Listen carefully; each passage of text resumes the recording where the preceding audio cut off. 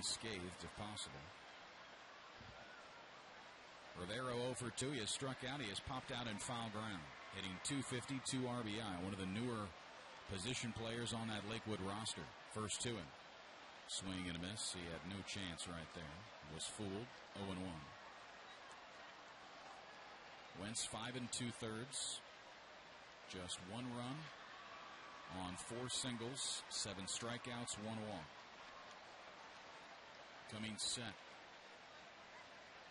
And an 0 1 pitch headed in from the young southpaw. Swing and a miss. Looked like the changeup. And it is 0 2. Rivas, a leadoff single. He is at third now with two outs. Wentz has Rivero in an 0 2. He will come set.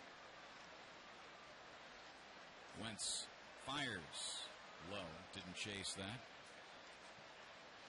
Remains count in his favor, however, at 1 and 2.